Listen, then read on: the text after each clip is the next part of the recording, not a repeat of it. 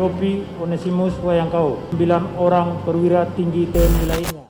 Satu lagi putra asli Papua menembus pangkat bintang di TNI. Teranyar, Kepala Kelompok Staf Ahli atau Kapok Sahli, Koarmada 3 Laksamana Pertama TNI Yohanes Julius Tomoni yang resmi masuk jajaran perwira tinggi depan satu bintang emas di pundak.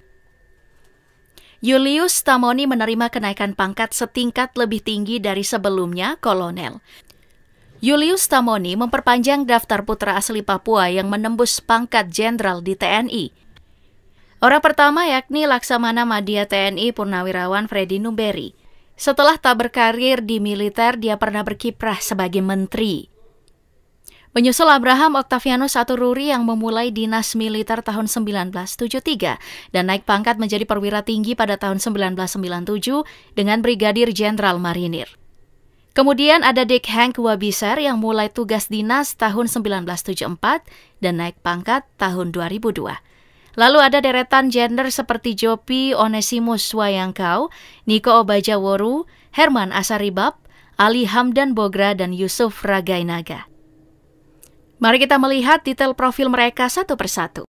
Negara itu akibatnya orang Papua mati karena negara yang ditetapkan oleh Belanda. Lika-liku menjadi seorang menteri kelautan dan perikanan dirasakan betul oleh Freddy Numberi. Baru saja mendapat penghargaan luar negeri Justru dirinya dianggap biasa-biasa saja oleh sebagian orang. Bahkan disebut-sebut tidak membawa pengaruh ataupun perubahan apa-apa bagi sektor kekuatan Indonesia. Fokus Freddy saat itu dinilai hanya untuk menaikkan popularitas di lingkup nasional dan internasional. Tapi sebaliknya tidak memberikan dampak apa pun bagi nelayan Indonesia yang sebenarnya lebih banyak ambil bagian dalam proses mensejahterakan bangsa ini. Isu soal menjual tiga pulau juga semakin membuat citranya buruk. Bayang-bayang kata gagal pun menerpa sosok yang memulai karirnya sebagai TNI tersebut. Hmm, kalau begitu kita ulas saja sosoknya dan lihat seberapa jauh sebenarnya Freddy dalam menjejali karir TNI dan politiknya. Di Indonesia itu kayak apa? Supaya adik-adik saya di Papua memahami, oh ternyata kami dari awal itu bagian utuh dari... Pria kelahiran Serui 15 Oktober 1947 ini merupakan seorang perwira TNI juga politikus kenamaan Indonesia. Tapi tak langsung terjun ke politik, Freddy lebih dulu tertarik masuk dunia militer saat usianya masih muda.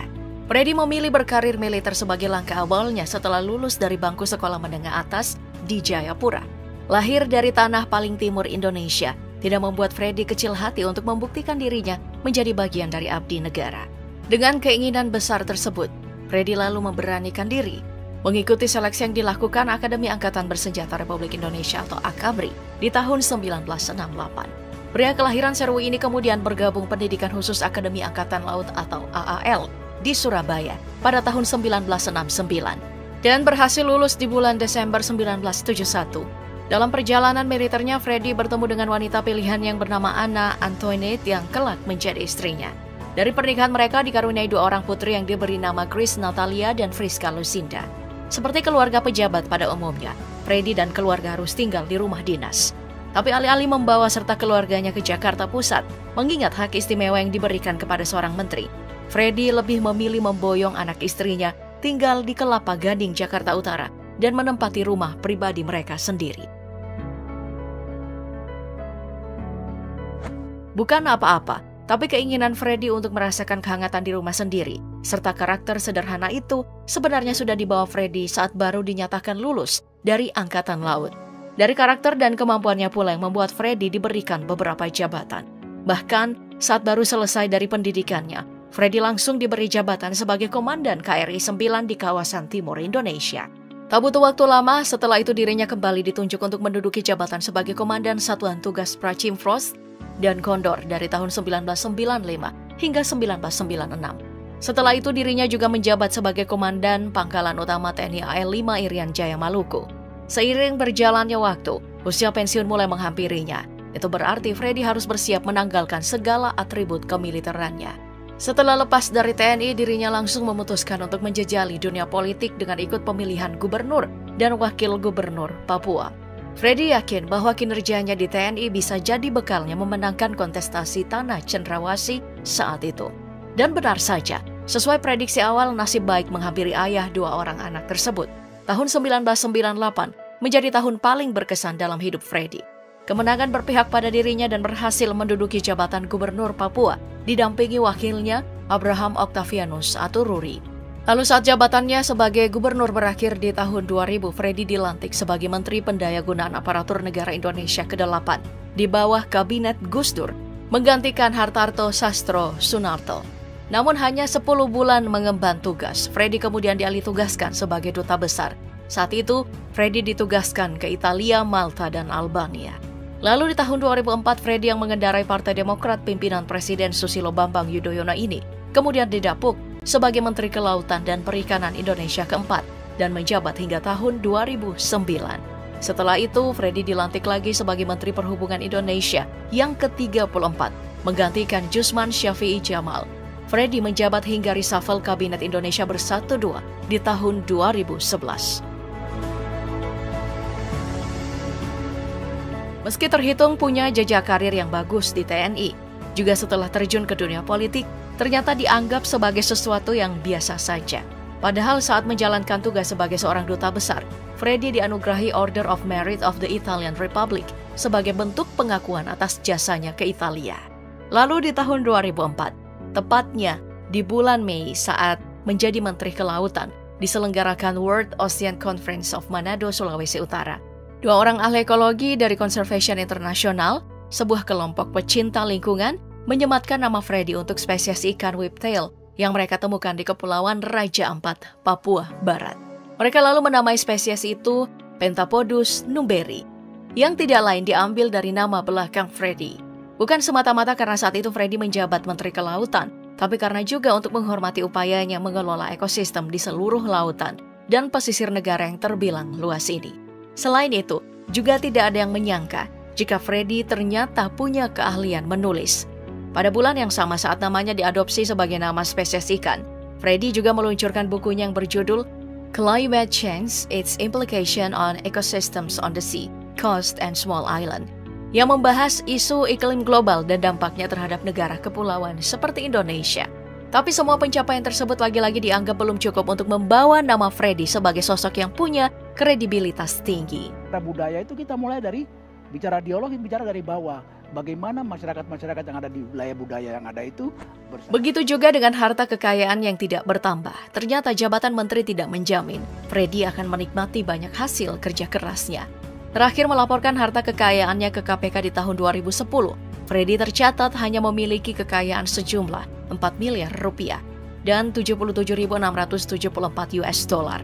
Catatan harta tersebut terdiri dari harta tidak bergerak berupa tanah dan bangunan senilai 2,4 miliar rupiah. Sedangkan untuk transportasi senilai 132 juta dan 32 juta rupiah. Pria dengan pangkat terakhir Laksamana Madia ini juga menyimpan harta kekayaannya dalam bentuk kas dan setara kas yang nilainya ditaksir mencapai 1,44 miliar rupiah itu pun mengalami penurunan sebanyak 100 juta. Karena jika melihat dari catatan di tahun 2007, Freddy saat itu melaporkan hartanya yang berjumlah 4,18 miliar dan 85.713 US dollar.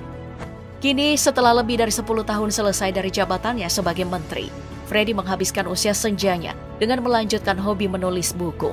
Terakhir buku yang berjudul Menguak Tabir Sejarah Papua atau Revealing the History of Papua juga ia sumbangkan ke Perpustakaan Universitas Cendrawasih November 2022 lalu.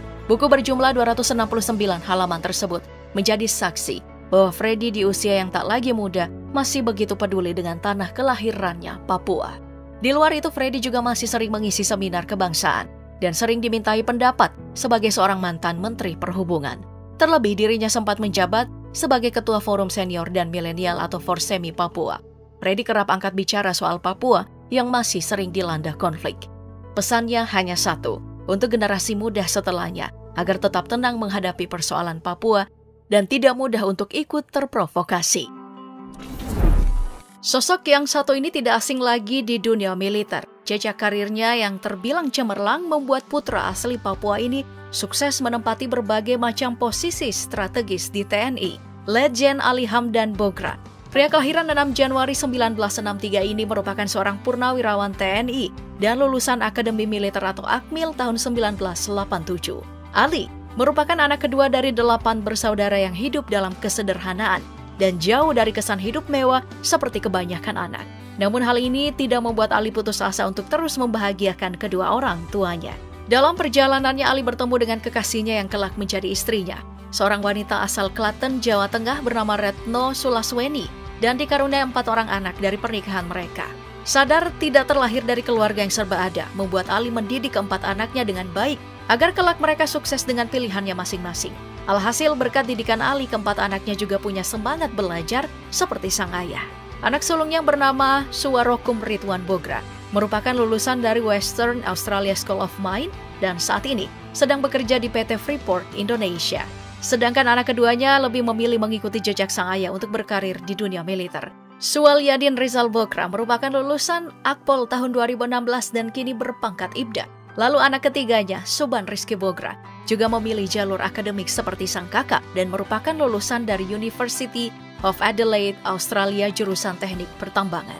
Dan anak bungsu mereka yang diberi nama Sufatona Rida Bokra juga saat ini sedang menjalani pendidikan di Fakultas Kedokteran Universitas 11 Maret atau UNS. Saat muda, Ali begitu antusias mengejar pendidikan setinggi-tingginya. Seperti kebanyakan anak, Ali memulai pendidikannya di bangku sekolah dasar. Ali menyelesaikan pendidikannya di bangku sekolah dasar atau SD Negeri Kokonao, Mimika Irian Jaya. Lalu melanjutkan ke sekolah menengah pertama Negeri 1 Manokwari dan SMA Negeri 1 Manokwari. Dirinya juga melanjutkan pendidikan ke bangku kuliah dengan mengambil program studi ilmu politik lalu mengambil gelar magisternya dari program Pasca Sarjana dalam studi pengkajian ketahanan nasional. Tapi tak hanya fokus ke pendidikan formal, Ali juga fokus ke pendidikan militernya. Setelah lulus dari Akademi Militer atau Akmil Magelang di tahun 1987, dirinya melanjutkan pendidikan ke Susarcap Infanteri, lalu ke Suslapa 1, Suslapa 2, dan Suspa Intel. Pria kelahiran Serui ini juga melanjutkan pendidikan militernya di Sekolah Staf dan Komando Angkatan Darat atau Seskuat. Selanjutnya melanjutkan pendidikan ke Susdandim, Susdanrem, Sesko TNI, dan Lemhanas. Namun tidak semudah yang dibayangkan. Sebelum menjadi TNI berkarir gemilang seperti saat ini, dulunya Ali harus berjuang keras untuk menggapai mimpinya. Lahir dari tanah Papua, ternyata membuat Ali harus berjuang lebih keras untuk menggapai mimpinya menjadi seorang prajurit TNI. Kisah pahit pun dirasakan Ali saat ingin mendaftarkan diri ke Akademi Maritim di Surabaya. Ali harus menempuh perjalanan ratusan kilometer dan butuh waktu hingga berbulan-bulan untuk sampai ke sana. Sayangnya setelah sampai ke Semarang, pendaftaran tersebut sudah ditutup dan Ali gagal untuk mendaftarkan diri. Namun berkat kegigihannya Ali berhasil memulai karir militernya. Di awal selesai dari pendidikannya Ali langsung mengemban tugas sebagai komandan peleton atau danton kemudian Danki dan Pasi Batalion 315 Garuda Bogor, dan menjabat dari tahun 1987 hingga 1995. Setelah itu dirinya menjabat sebagai Kasdim 1708 Bian. Lalu di tahun 2003 dirinya diangkat sebagai Kabak Ops Pusdi Kintel Kodik Ladat dan Padandia Ops Sobsdam Jaya di tahun 2004. Setahun kemudian dirinya ditunjuk sebagai Dandim 1706 Fakfak. Lalu butuh waktu tiga tahun untuk Ali kembali memegang jabatan sebagai Kas Brigif 20 Imajaya Keramo. Lalu di tahun 2009 dirinya dilantik sebagai Pabandia 1 Kurdik PA, Spaban Kurdik, Dirdik, Kodik Latat. Saat itu Ali sempat kebingungan untuk mencari tempat tinggal setelah dipindahkan dari Papua. Lalu bertemu dengan Jenderal Andika dan menjalin persahabatan dengan mantan orang nomor satu di TNI tersebut. Jenderal Andika bahkan menemani Ali untuk keliling di sekitar Kodiklat untuk mencarikan Ali in the coast. Selanjutnya tahun 2011, dirinya menjabat sebagai Kapemdam 17 Cendrawasi. Dan hanya setahun memegang jabatan tersebut, Ali ditugaskan lagi sebagai Kasrem 171 Praja Viratama dan menjabat hingga tahun 2014.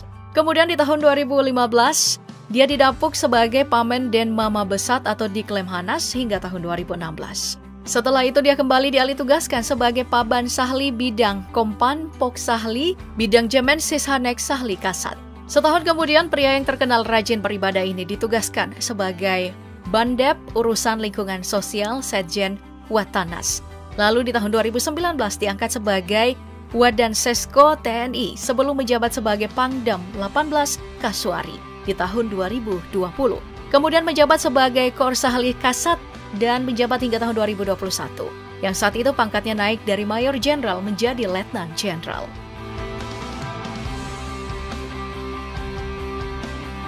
Selain itu, di dunia militer, Ali juga aktif di dunia politik.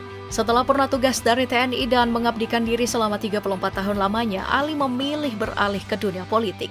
Bergabungnya Ali tersebut disambut baik oleh Ketua Umum Partai Perindo, Haritanu Sudibyo, bahkan dilantik langsung oleh pria yang kerap disapa HT tersebut. Ali selanjutnya menahkodai DPW Partai Persatuan Indonesia atau Perindo untuk wilayah Papua Barat Daya. Setelah bergabung, Ali juga mendapat lampu hijau dari HT untuk maju dalam kontestasi pemilihan gubernur di pemilu tahun 2024 mendatang. Selain itu, di awal tahun 2023 lalu juga, Ali dilantik sebagai Ketua Ikatan Alumni Universitas Jenderal Ahmad Yani atau Unjani. Berkarir cemerlang juga hasil dari kerja keras dan prestasi yang diraih Ali selama di TNI. Salah satu program yang sempat diinisiasi pria berusia 60 tahun ini adalah program Seribu Prajurit Otonomi Khusus atau OTSUS Papua saat dirinya masih menjabat sebagai Pangdam 18 Kaswari, Papua Barat. Program ini sengaja dibuat Ali untuk para calon bintara prajurit karir Otsus Papua. Mereka dibekali pendidikan militer selama 20 minggu dengan materi dasar keprajuritan. Berkat program yang dicanangkan pria yang dijuluki kakak besar ini, berhasil mengantarkan mereka menjadi prajurit TNI Angkatan Darat dari tanah Papua.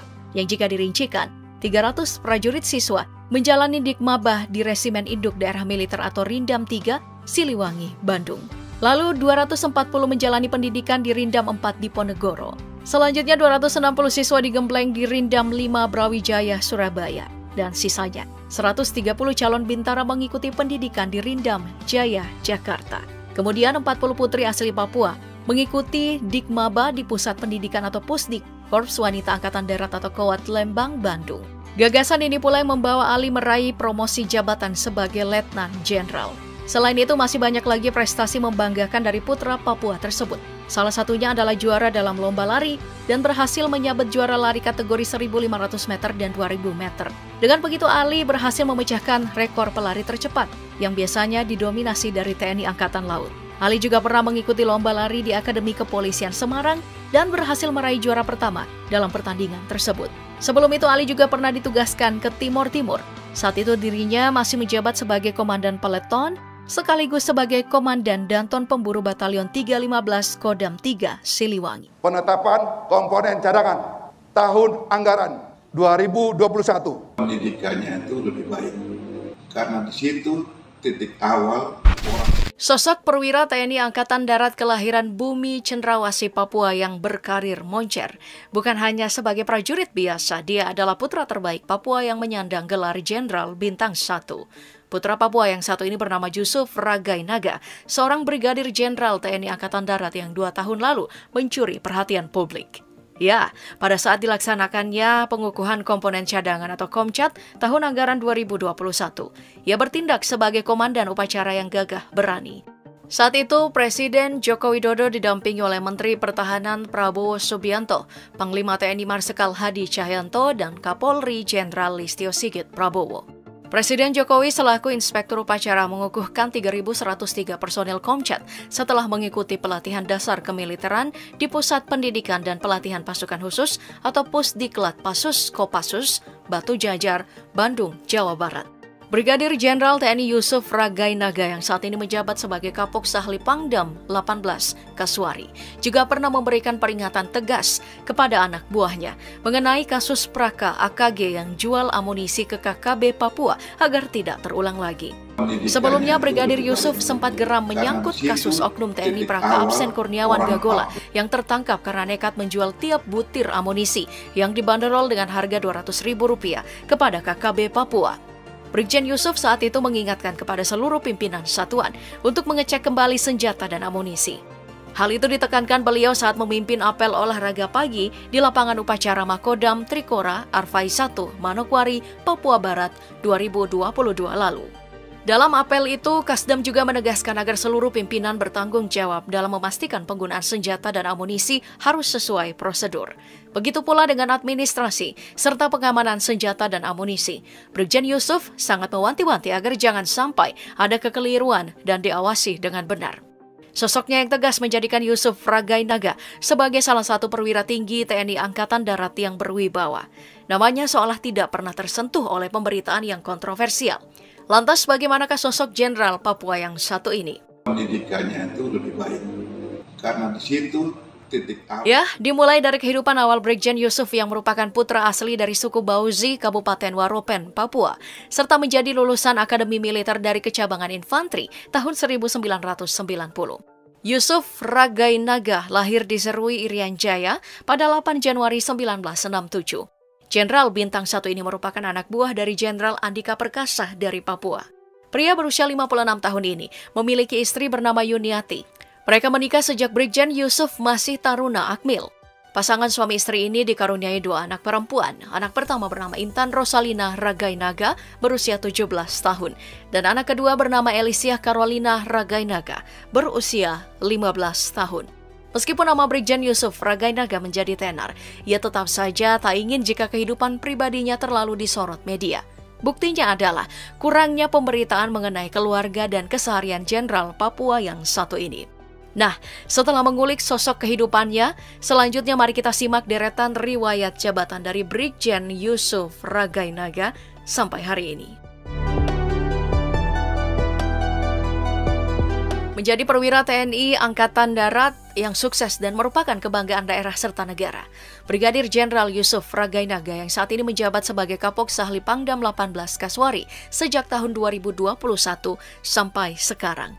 Jauh sebelumnya di tahun 2009, Brigjen Yusuf pernah menjabat sebagai Dandim 0827 Sumeneb. Kemudian dilanjutkan dengan menjabat sebagai Waidam 5 Brawijaya. Lalu berselang beberapa tahun, ia menjabat sebagai Kababin Minfed Cadam 4 di Ponegoro pada tahun 2018 sampai 2019.